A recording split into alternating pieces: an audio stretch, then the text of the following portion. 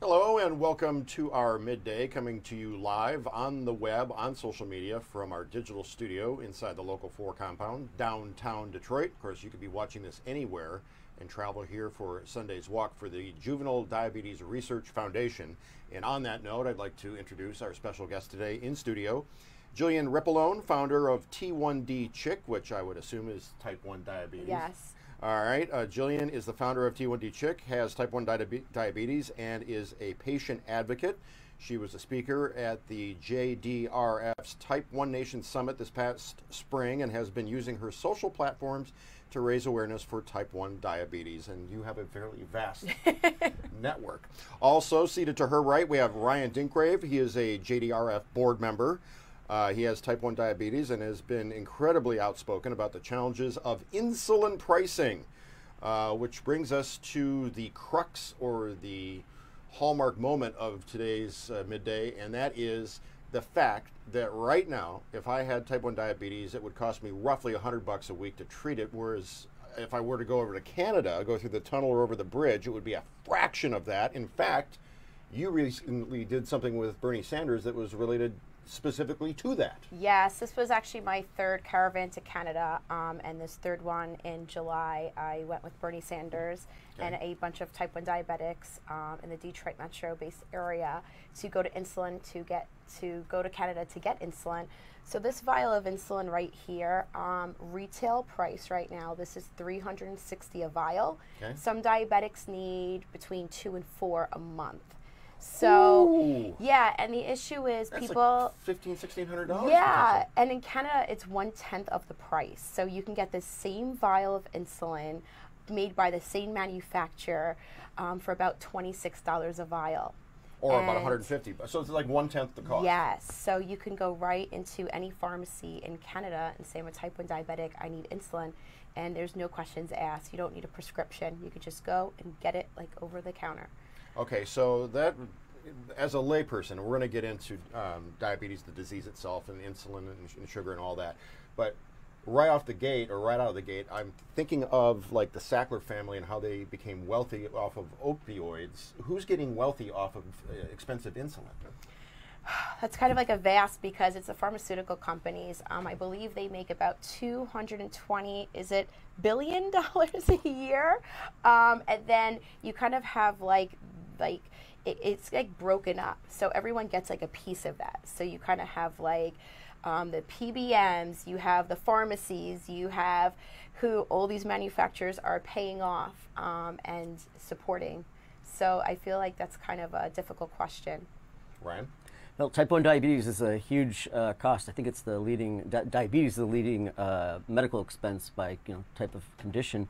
And uh, it, yeah, that's, it's, it's, we can't live without insulin. So being able to afford it, it's not, it's a life or death choice, frankly. Literally, because if you've been following the headlines, there are people who are literally dropping dead because they are not managing uh, their disease because they can't afford to. They are making a literal life and death death choice by not taking their insulin or trying to spread it out, ration it because it's so expensive. And at 26 years old, you're kicked off your parents' insurance.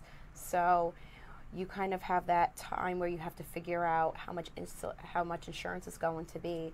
And when you're kind of like young and you're 26, trying to still figure it out, when you pay rent and you pay bills, everything else, um, insulin, it could be very expensive, your medical. Do you know of any diabetics who have literally moved to Mexico or to Canada because they can afford their medication there as opposed to living here? I don't, but that's an interesting question because if we're already crossing the border to get insulin, at some point it's such a big part of your life. And if you live in a place like Detroit where it is Convenient. this accessible, yeah, I, I would imagine some people considering something like that. But I also think this is going to be a very short term solution because Canada is not the solution. We shouldn't Right. have to cross a border into another country to get insulin because we can't get it here in America, um, you know, home of the free.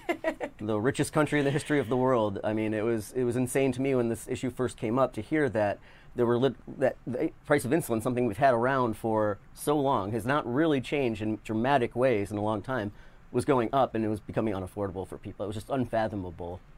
Okay, so let's walk it back a bit and get into what diabetes, the disease, is. I mean, uh, anybody of a certain age grew up w- w- looking at TV commercials. Wilford Brimley would be talking about his diabetes. uh, we've heard other people refer to it as the sugars or what have you. It, it, but it's you know it's not something that you know is pop culture, culture fodder. It is literally a potentially deadly disease. What is diabetes? So I think of it as think of it like you you're functioning right because you have everything that you need. But my body, I have a broken pancreas. So everyone makes a hormone called insulin, but my body just stopped producing it for whatever reason. So I was diagnosed at seven years old. My brother was diagnosed at, uh, we were a year apart when we were diagnosed. And there's no family history of type 1 diabetes. Then you have people that get diabetes, whether they're juvenile or later adult. It can happen at any time, any religion, any race, because diabetes does not discriminate. Yeah, and with type 1 diabetes, your, your body's making zero insulin. That's the difference. Which, Type, what does the body do with insulin? insulin is, I, th- I think of it as the key that unlocks uh, your cells so the sugar in your blood sugar in your blood that's from the food you eat can go into your cells and be used for energy. So without that, sugar builds up in your blood. Your body then starts burning fat for energy, which is very toxic, frankly, to the body. So you need to take injections of insulin or delivered through an insulin pump. So you're managing the sugar, Yep. the, level, the level Yep. of sugar in your blood. We are we have to we have to operate our pancreas manually because it's broken. And if you don't get enough insulin that you need, which comes in this little vial, um, then you'll go into DKA, diabetic ketoacidosis, which is, I think, I like to tell people think about a fish out of water. If a fish doesn't get back in w- water, what happens? It, it sucks out everything you have, Right. and which leads to death. Now, if your sugar level is too low, what's the symptom? shaky you get very shaky um, you start to lose your vision a little bit and your surroundings um, and you kind of could slip into like an unconscious state because Right. your body is getting maybe too much insulin and you're not getting enough sugar to offset that Okay, so that's low blood sugar. What about high blood sugar? high blood sugar i feel like you're very dry mouthed you're lethargic um, because you have you have this astronomical high blood sugar and you're not getting enough insulin to offset that so it's constantly like this struggle to find that perfect balance to keep you at a healthy at a healthy uh, state Ryan, how many times a day do you have to manage your, be your own pa- pancreas, basically? You Well, I, I'm probably all day long, to be honest. And thankfully, I have an insulin pump now that every five minutes is making a calculation based on a blood sugar reading it's getting from me every five minutes from a device I'm wearing of how much a little dose of insulin to give me to manage it. All trying to get to 120 milligrams per deciliter of, of blood sugar all so day it's like long. a wearable pancreas?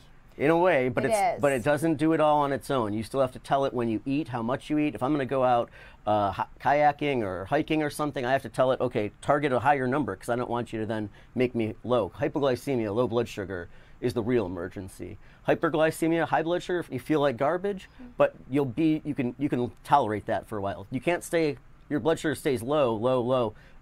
You go into a coma, you may die. but the reality is too while ryan and i both have um, insulin pumps and continue this is my insulin pump that gives me my insulin 24 hours a day i also wear a dexcom cgm device Okay. which gives me my blood sugar reading every five minutes which eliminates the finger pokes however most diabetics don't have those options so while we have those options we're considered privileged but most diabetics do not Did insurance cover those for you?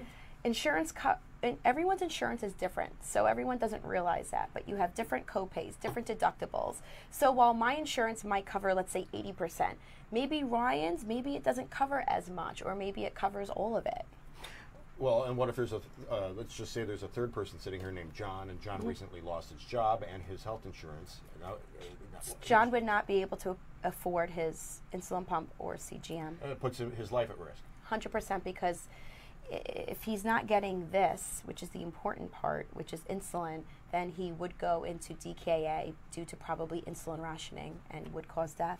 And your point about employment is huge. Once you do not have health insurance, and if you don't have continuous health, good health insurance, you can't maintain the kind of tools that we're able to use. So it's a huge purchase up front.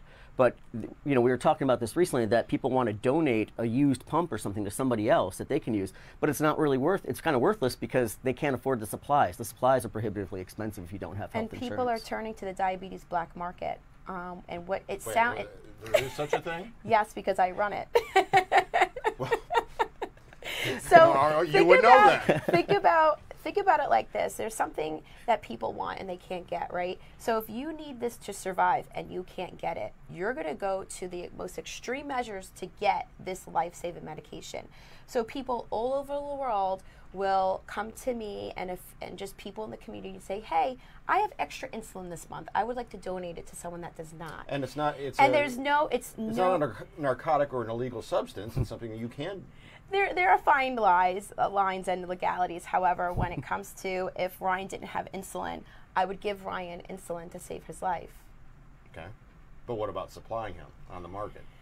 Well, you, it, you, hope know it's a temporary it's thing. a touchy. su- It's a it's a very sensitive situation. But when you have families out there that have two or three kids with diabetes and they have to go to Canada, or if they're not able to, let's say, mm-hmm. to go to Canada or Mexico, where are they going to get their insulin from? So everyone in the community comes together and they'll help, ra- like give extra donations that they're just unused insulin, unused supplies to help somebody in need in life and death situations. It's a patchwork solution, right? Kristen Smith on Facebook uh, says this is a real time conversation. Obviously, we have people watching all over the place. Uh, she says, "I wish I could be on the show and explain it better. High blood pr- high blood sugar is very dangerous too. Your organs start to get damaged with high blood sugars, right? Absolutely. 100%. Absolutely. I only meant that like if I, my, blood, my blood sugar's high today, I can make it till tomorrow. I'm not gonna. I'm most likely not gonna have a crisis. Whereas low, low blood sugar must be treated immediately. So I would imagine this is a real burden on your diet. You have to be very careful about what you eat or when you intake certain. I try to I try to tell people it's a balance. There's nothing that you can't eat, but I wouldn't go out and have um, 12 donuts. Maybe I would have one donut or maybe half at a time. Okay. Make sure my blood sugars are balanced, and then maybe go on to have something else at a later time. But I think diabetes, when it comes to eating, is is definitely a balance. I agree. I, I mean, there's there's things I could have. Like I could have a regular soda if I wanted, but uh, I would have to take insulin for it and make my blood sugar go up, and you know I have to make sure it comes back down. It's just not worth it to me. Um, so I, I don't. But I certainly could. There's nothing we absolutely can't have.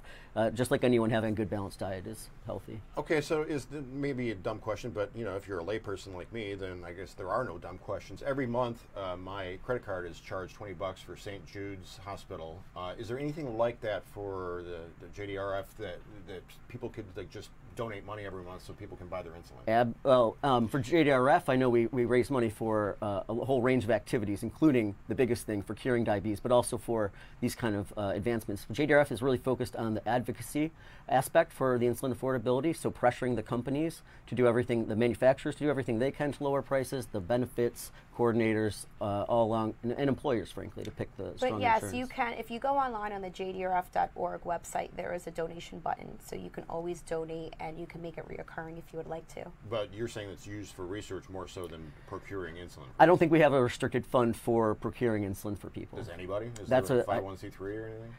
I don't, I don't, not that I'm aware of. I think kind of the There are certain legalities with organizations, so unfortunately, um, I wouldn't be able to donate this to the organization.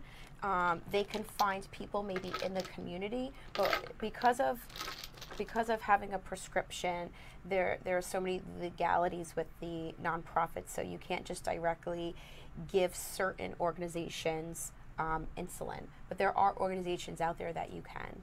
All right. So getting back to, I mean, there are comments on here on our Facebook, the live feed, about the pharmaceutical big pharma.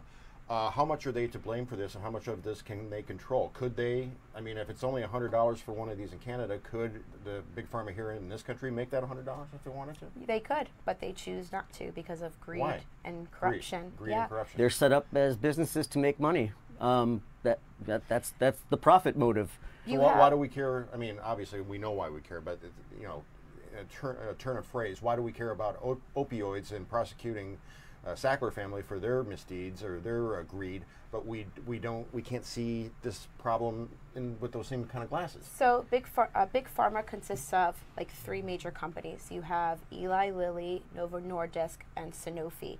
They make up um, 90% of the world's insulin. Okay. So when you're talking about billions and billions of dollars and payoffs, um, I feel like big pharma almost runs the country because of all that. So they are donating donating to people's campaigns. They're donating money to organizations to help run programs, right? So and then there's this blame game. So everyone has to blame each other. Like big pharmaceutical companies are saying, "Oh no, it's insurance." And insurance is saying, "No, it's you." And then they're blaming the PBMs. And then so you have of the um, do you want to get into the? I'm not sure. So you have like you kind of have like the middleman. I like to call it like the middleman right Okay. right that makes like all like the negotiations. Mm-hmm. So you kind of have like the pharmaceutical companies talking to like the pbms and then you have them that are kind of like you have like all these different arrows and they kind of make up like what i guess your insurance would your what your copays would be your addition, your insurance would be. This sounds like collusion. well there's like this this web and the issue is is coming down to the main source so as patient advocates that's what we're doing right now we're trying to fight for affordable insulin and insulin for all Uh, what's go- there's an event coming up on Sunday. Um, how does that dovetail into what we've been talking about thus far? Yeah, JDRF, you have the One Walk, which will be taking place this Sunday, the 22nd, at the Milliken State Park, um, and check-in begins at 8:30, and it starts at 9:30. And what this walk is, you have everyone. Um, you have Type 1 diabetics, all ages. You have supporters and caregivers, and we all come together as a community. And that's what's so important because until there is a cure, we have community, and that's what we need. We need to be able to get together, and we can share our stories and walk together.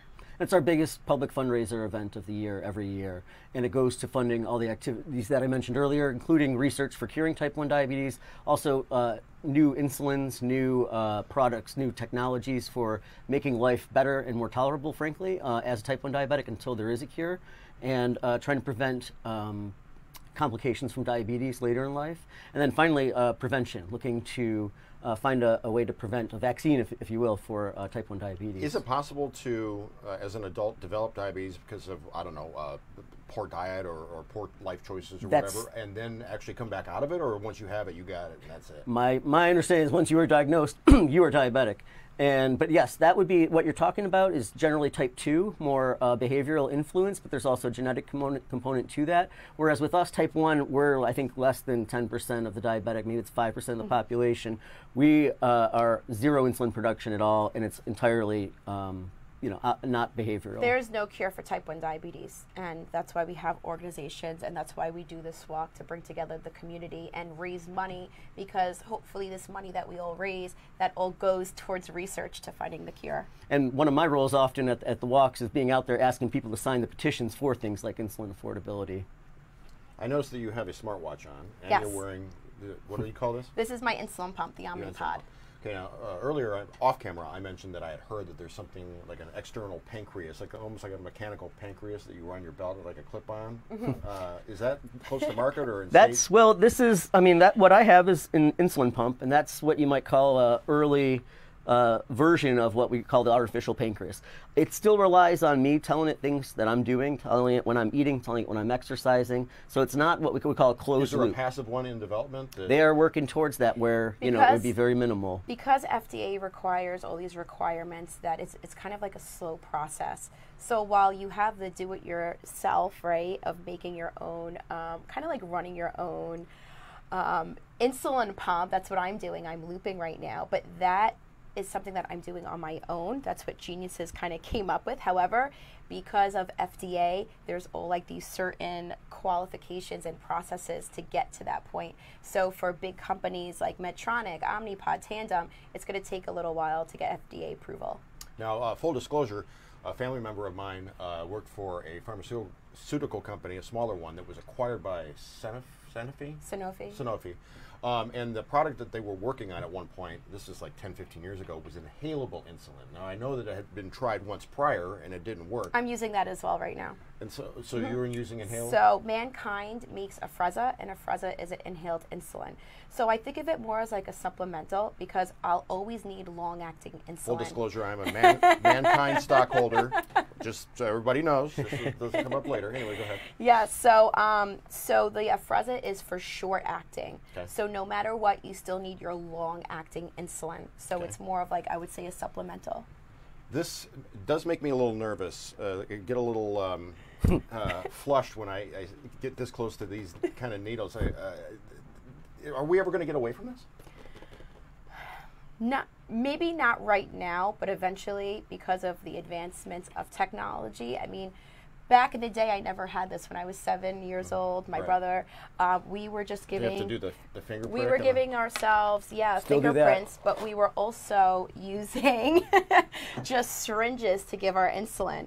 So, with the advancements with technology, now we're filling our needles um, with the insulin using a syringe. However, you're inserting the insulin into this device, which is your insulin pump. And now I kind of have this insulin pump Ah, on me okay. 24 hours a day, giving Gotcha. myself insulin versus taking 10 shots a day. I can't even imagine. It's like one every two hours that you're awake. Um, where can somebody find out more information about the walk, about donating, about uh, campaigning, calling their senators, calling their uh, representatives about this uh, out of control cost for insulin? Where can they? Is there a sort of one place they can go and get all that started? The best place to go is www.jdrf.org. You'll find information on all the uh, advocacy activities. You can find information on all the interesting research going on. There's all kinds of interesting products in development that actually JDRF has helped fund in some cases. And you can find our chapter on there, our Michigan chapter, and information about the uh, Detroit Walk and on Facebook. Uh, and also the walk itself. Uh, the, again, jdrf.org. Yep. Yes, Yep, just- jdrf.org, and it'll be this Sunday Yep. um, at the Milliken State Park. And where do the good people find either one or both of you on social media? On social media, my Instagram and Facebook page is T1D Chick. T1D Chick. And you? I'm the only Ryan Dinkgrave on Facebook. It is an unusual name. You don't hear that so often. Uh, anything else that we need to get to, Sarah and or Matt? We're all good? All right. I think we, we've learned a lot here today. I know I have. And uh, on behalf of these two, thank you for joining us and do your part. Thank you. Thanks.